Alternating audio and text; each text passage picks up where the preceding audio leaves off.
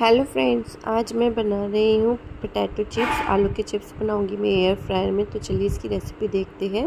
सबसे पहले आलू को छील के इन्हें स्लाइस कर लेना है। पतले पतले स्लाइसेस में कट करेंगे। जितने पतले स्लाइस होंगे, उतने ही अच्छे चिप्स कुरकुरे बन के आएँगे। उसके बाद चिप्स का स्टार्च निकालने के लिए उन्हें हमें पानी में दो से तीन बार धो लेना है अच्छे से। दो से तीन बार आप पानी से ड्रेन कर लीजिएगा, इससे जो स्टार्च है, आलूओं का वो निकल जाता है।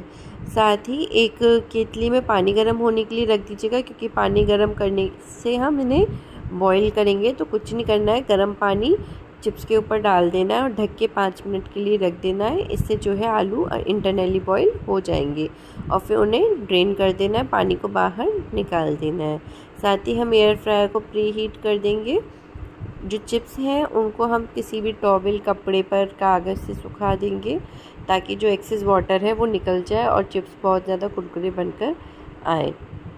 एक जगह चिप्स इकट्ठे कर लेंगे और हम ए, सबसे पहले इस पर एक चम्मच तेल डालेंगे साथ ही नमक डालेंगे सीजनिंग के लिए और इन्हें अच्छी तरीके से मिला लेंगे ताकि बनने के संग ही जो पूरा फ्लेवर है चिप्स में वो आ जाए। अब मैं एयर फ्राई में एक एक करके चिप्स रख रही हूँ। यहाँ पे एक के ऊपर आप एक भी रख देंगे, तब भी वो उतनी ही कुरकुरे बन के आएँगे, लेकिन अलग अलग करके रखते जाएँगे, जिससे वो अच्छे से हीट हो जाए। अब हम 90 डिग्री सेल्सियस पे 12 मिनट के लिए चिप्स को बनाएँगे। 6 मिनट बाद में एक बार फिर से इन्हें चला दूँगी। देखिए, अभी भी छः मिनट में भी काफ़ी अच्छे हो गए। एक बार पलट के हम फिर से छः मिनट के लिए इन्हें कुक कर देंगे। और अब देख, आप देख सकते हो कि चिप्स कितने कुरकुरे बन के आए हैं। ये बहुत ही टेस्टी बने थे फ्रेंड्स तो आप भी इसकी रेसिपी ज़रूर ट्राई करें। और मुझे कमेंट में बताएँ, आपको ये कैसी लगी।